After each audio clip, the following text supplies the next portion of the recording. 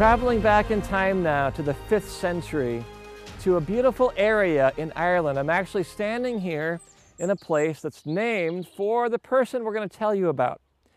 His name was Patricius, that was his Roman name, or as you might call him today, St. Patrick, a beloved man called the Apostle of Ireland and known by many of all Christian traditions. I'm standing here in this beautiful area, in an area named for him, Downpatrick, at the church called Saul. It was believed that Patrick began his very first evangelistic mission from here, right where I'm standing in the year 432 AD. Now, what's amazing about this mission is it was an invasion of sorts, because think about it. For the very first time, the kingdom of God is coming and appearing in love. The kingdom of God is coming in power through Patrick and the men that he raised up to cast back the spiritual darkness and the druidic demonic worship that had existed here for centuries. You know what? Jesus Christ died for all those druids and priests and people too. So, we're going to actually begin our story not here, but over across the Irish Sea to England, to an area where Patrick came from. That's right, ladies and gentlemen, Patrick was not even Irish. So strap on your seatbelts as we listen to David Cole tell us some more about Patrick. David, of course, is a resident Celtic Christian historian, a man of great knowledge of Patrick. So I asked him in some Q&A about the life of this extraordinary saint.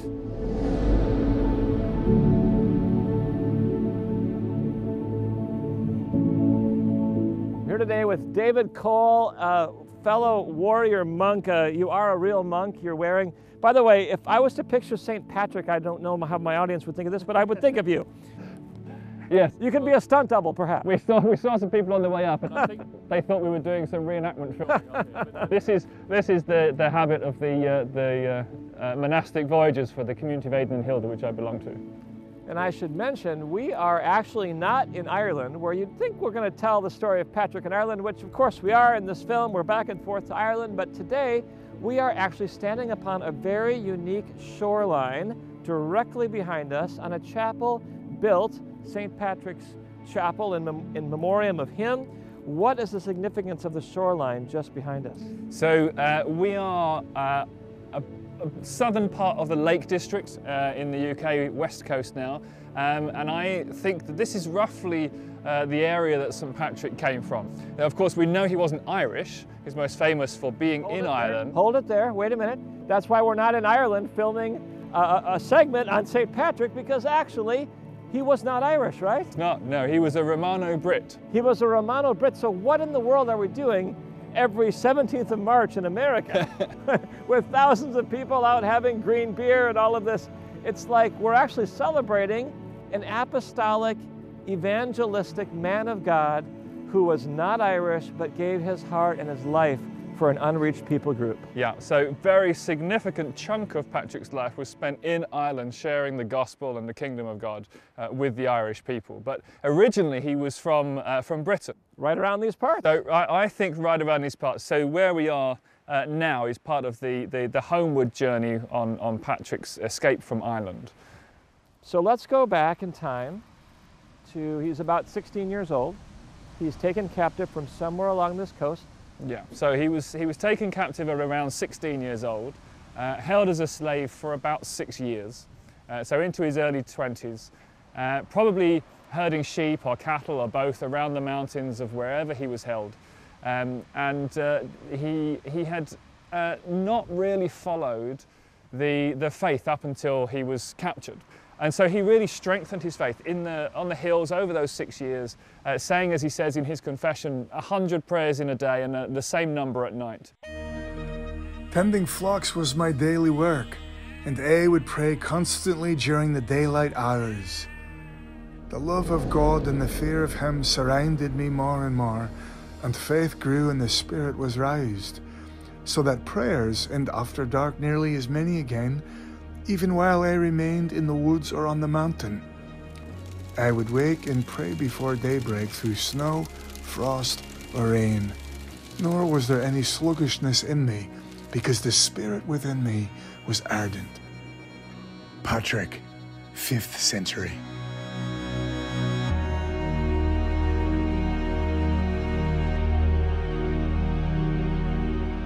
So the first dream of St. Patrick happened on the Slemish Mountains, just a short distance from where I'm standing today. And I just love the fact that during this time, Patrick was not being uh, still or inactive in his relationship with Jesus Christ. He was passionately pursuing Christ.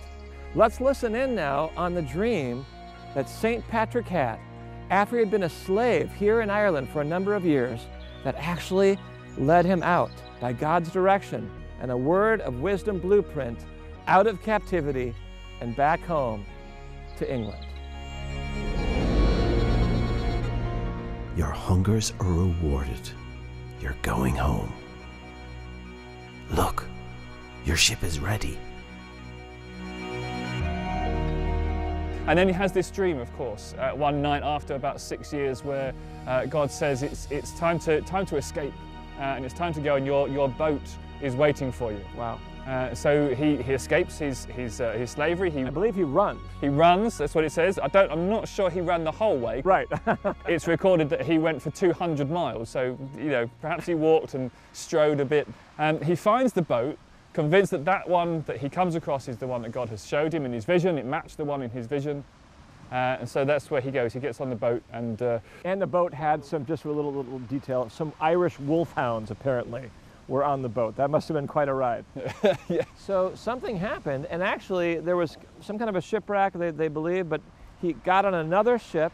Yeah. And of all places in the entire world, we're standing on the cliff overlooking the sea where they actually believe St. Patrick came ashore. And uh, yeah, that boat supposedly is shipwrecked, and somewhere in here uh, is where the boat was wrecked. Patrick came up to this spot uh, and uh, founded a, a, church here to pray, uh, to, to, dedicate this spot to God. So almost home, uh, yeah, here on this space. So this would have been uh, probably a very significant place for Patrick on that journey, standing right on this spot.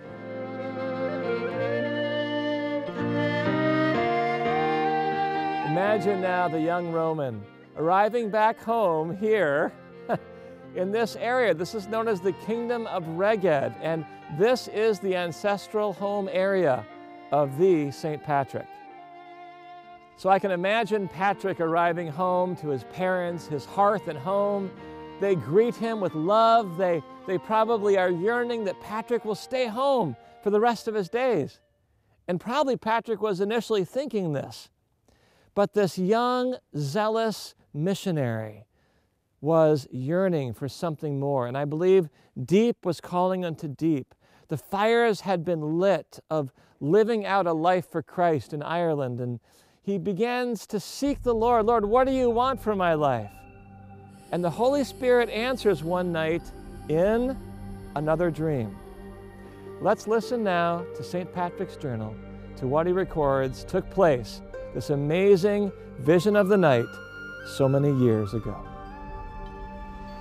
In a vision in the night, I saw a man whose name was Victoricus, coming as it were from Ireland with so many letters they could not be counted. He gave me one of these, and I read the beginning of the letter. It said in my ancient language, Vox Hiberionacum, which translated means the voice of the Irish. While I was reading out the beginning of the letter, I thought I heard at that moment a multitude of people they called out, as it were, with one voice. We beseech you, O holy servant boy, come back to us and walk again in our midst. This touched my heart deeply, and I could not read any further. I awoke. Well, this dream certainly would have inspired Patrick to follow Christ in his mission in such a wonderful way. So, why was this so unique? Well, I've actually come here. These are ruins of a Roman fort uh, that we're in today in the region where Patrick's family was from. And this is important to remember. This is a Roman time. The Romans had been active here for hundreds of years, really conquering England as far north as the northern border. Uh, the famous Hadrian's Wall, but they had never conquered Ireland. So, what I think is unique about this moment in history is we're 400 years past a dream that Paul had, St. Paul at Troas, where the Macedonians, or we could say the Europeans, were beckoning him, Come over here and help us. And the first dream that Patrick has as he arrives home is more or less saying the same thing Come over here and help us. That's radical.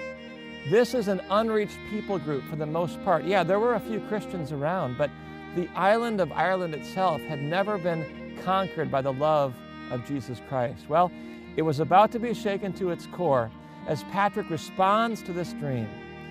Uh, Rome was crumbling, but God was opening up a new mission frontier to this people group. So Patrick decides to set out and as he sets out in his little boat, I believe he had passion and fire in his heart. And he takes off across the sea to land in Ireland. And what he begins there is a mission that still has implications down to this day.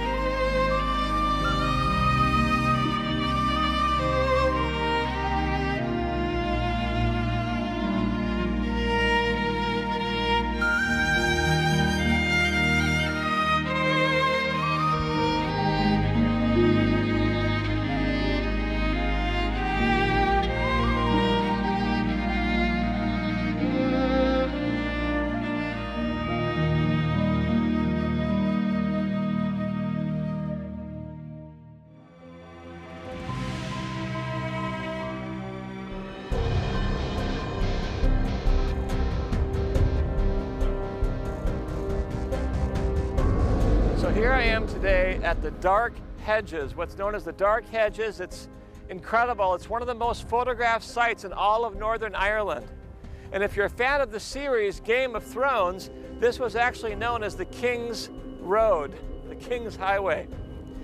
Well, I think this represents something very unique about the coming of Christianity and the coming of the light of Jesus Christ into this dark culture. If I step a little bit, now I've stepped out of the dark and into the light. Now, this was the world that St. Patrick entered. He came into the world of pagan darkness. If any series could represent pagan darkness, I know of none other than Game of Thrones. The, the wickedness, the evil, the sin, the, all of the things depicted in that series could very well illustrate a world without Christ. Did you know there's an old sort of parable that St. Patrick actually drove the snakes out here of Ireland. Well, that's quite a story, and we don't actually know as historians whether or not that's true. There might not have even been snakes in the time of Patrick. Certainly there are none today because of the culture and the climate. However, here is what I think it represents. He comes into a world like Game of Thrones darkness. He brings in, first of all, a full on devotion to Jesus Christ. He's praying hundreds of times a day. His, his first heart commission is to love the Lord his God with all of his strength and then to love his neighbor as himself or to love all those around him. And so he displays the love of Christ, the power of Christ, even in places like the dark hedges, and they become transformed by salvation. He overturned in one generation. Did he drive the snakes out? Yes. If they represent spiritual darkness, he drove the snakes out of Ireland forever. And he ushered in hundreds of years of the glory of God here in this beautiful nation of Ireland. And the nation today is still displaying revivals and people being raised up and trained and sent to the nations. There's still this beautiful atmosphere here, all because one man took a stand for Christos Victor, Christ the victor. And thus Jesus Christ took a stand and his sacrifice of blood was announced here. And no longer did they have to sacrifice their children or animals in blood. Now they believed in the one who came, the God who sent his own son to be the beautiful sacrifice. That's Jesus. That's the God whom you and I serve. And that's the kind of message that transformed this culture in one generation from pagan darkness or the dark hedges into the King's Highway. Back here in Ireland, and I'm actually sitting upon the grave marker, the stone, where St. Patrick is buried. I'm in Downpatrick here, and I, I had to sort of take a pause to sort of reflect on how amazing the story is and try to put it in a modern context for you. So here goes. Suppose you are a young teenager. You're traveling with your family over to Iran on holiday, and you are taken captive by terrorists. Now, your parents escape, but for six years, you are a slave to that group of people who don't know Christ and who are treating you in such a way that causes you to seek the Lord even more. And one night you have a dream. And in that dream, it shows you how to get to a boat and you escape. You come back to your home, hearth and home, and you're there. And while you're there, you have another dream, and it's the terrorists and the people group in that dream urging you to come over and give your life forever as a missionary and share Christ with them. That is exactly the amazement of the dreams of St. Patrick and his apostolic mission that began here in such power, in such fervor, out of prayer, out of intercession, and then out of evangelistic outreach. That's how powerful the story is, and that's why Patrick, I think he's worthy of raising a glass on St. Patrick's Day to celebrate not an Irishman, but a Roman who became a missionary and gave his entire life for the gospel of Jesus Christ here in Ireland. I'm Carl Wesley Anderson for Love Speaks, reminding you here at the grave of St. Patrick to keep listening. Keep listening. Keep listening! Learn even more about this way or any of the 21 ways to recognize God's multifaceted voice, visit us at lovespeaks.today.